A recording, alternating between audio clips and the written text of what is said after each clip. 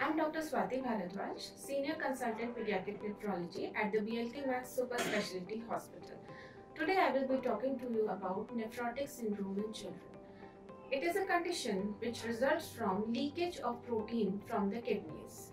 It usually starts between 2 to 6 years of age, although children younger and older can also have nephrotic syndrome. The exact cause for this condition is not known. The symptoms are usually swelling around the eyes, which gradually increases to involve the face, the extremities, and the belly. Diagnosis is simple presence of swelling, low level of albumin in the blood, and presence of excessive amount of protein in the urine.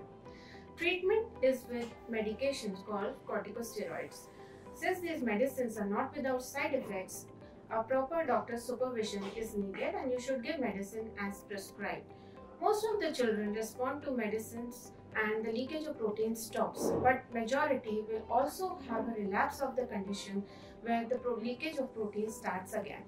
So this condition is going to last for a few years, but the good news is that this condition does not damage the kidney in majority of children and they will outgrow this condition at certain age. This is not going to last forever and the goal of treatment is to effectively control the disease, prevent its complications, also let the child have a normal lifestyle and prevent long-term side effects due to medications. So treatment should be carried out under proper supervision. Thank you.